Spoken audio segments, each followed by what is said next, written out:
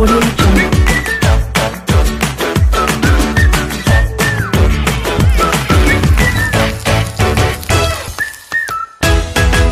Audio Jungle.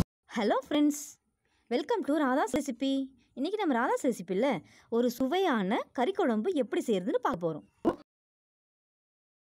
Cooker ஒன்று heat பண்ணி நாலு ஸ்பூன் ஆயில் விட்டுருக்கேன் இப்போ இதில் ரெண்டு ஏலக்காய் ரெண்டு கிராம்பு ஒரு துண்டு பட்டை ஒரு பிரிஞ்சி இலை ரெண்டு ஸ்பூன் சோம்பு ஆட் பண்ணிக்கிறேன்.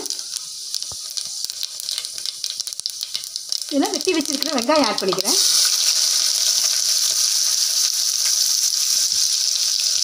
இப்போ இது ரெண்டு நிமிஷம் நல்லா வதங்கட்டும்.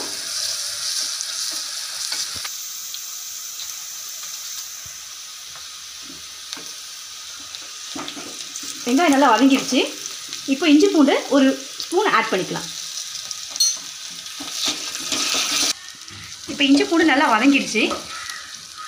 அரை கிலோ சிக்கன் நல்லா மஞ்சள் போட்டு கழுவி எடுத்து வச்சுருக்கேன். இப்போ இது இதில் சேர்த்துருவோம்.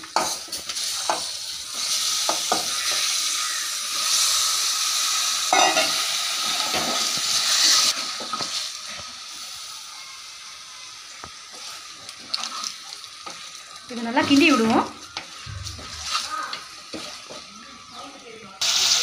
இப்போ இந்த கறிக்கு தேவையான உப்பை போட்டு ஒரு அஞ்சு நிமிஷம் நம்ம இதை மூடி வச்சுருவோம். ரெண்டு நிமிஷம் ஆயிடுச்சு. இப்போ நம்ம இதில் ரெண்டு தக்காளி நான் பேஸ்ட் பண்ணி வச்சுருக்கேன். இப்போ இது இதெல்லாம் ஆட் பண்ணிடுவோம். நல்லா மிக்ஸ் பண்ணி விடுங்க.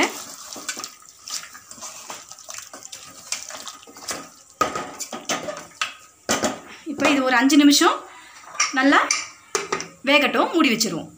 இப்போ அஞ்சு நிமிஷம் ஆயிடுச்சு. இப்போ பாருங்கள் கறி நல்லா அரை ரெக்கார்ட் வெந்திருக்கு. இப்போ இதில் நான் மசாலாலாம் ஆட் பண்ணிடலாம். ஒரு கால் டீஸ்பூன் மஞ்சத்தூள். ரெண்டு ஸ்பூன் குழம்பு மிளகாய் தூள். அரை ஸ்பூன் கரம் மசாலா. இப்போ அதில் நம்ம இந்த பேஸ்ட்டை வந்து இப்போ ஆட் பண்ண போகிறோம் இதில் என்னென்ன நான் சேர்த்துருக்கேன்னு பார்த்தீங்கன்னா கால் முடி தேங்காய் ஒரு ஸ்பூன் மிளகு ஒரு ஸ்பூன் சீரகம் ஒரு ஸ்பூன் சோம்பு. இதை நல்லா பேஸ்ட் பண்ணி வச்சுருக்கேன். இப்போ இதை இதில் ஆட் பண்ணிடுவோம். இப்போ இதை நம்ம நல்லா மிக்ஸ் பண்ணி விட போகிறோம்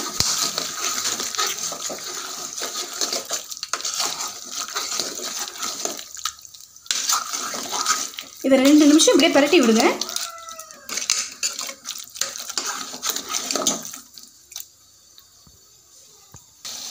இப்போ ரெண்டு நிமிஷம் நம்ம இதை நல்லா பரட்டி விட்டாச்சு. இப்போ இதில் நம்ம தேவையான அளவு தண்ணி ஆட் பண்ணிடுவோம்.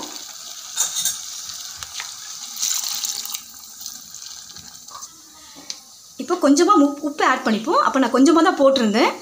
இப்போ தேவையான அளவு உப்பு ஆட் பண்ணிக்கிட்டேன். இப்போ இதை மூணு விசில் நம்ம போட்டு இறக்கிடுவோம் அடங்கிருச்சு. இப்போ நம்ம இதை ஓப்பன் பண்ணி பார்த்துருவோம்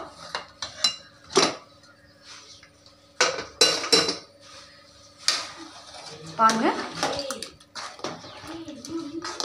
என்னோடய சேனலை சப்ஸ்கிரைப் பண்ணாதவங்க சப்ஸ்கிரைப் பண்ணுங்கள் பக்கத்தில் இருக்கிற பெல் ஐக்கானை கிளிக் பண்ணுங்கள் லைக் பண்ணுங்கள் ஷேர் பண்ணுங்கள் கறிக்குழம்பு ரெடி இப்போ இதை நம்ம ஒரு பாத்திரத்துக்கு மாற்றிடுவோம்